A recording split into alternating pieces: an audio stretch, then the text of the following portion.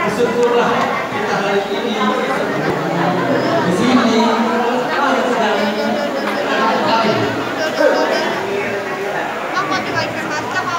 Jadi pertemuan ini mau dikatakan sulit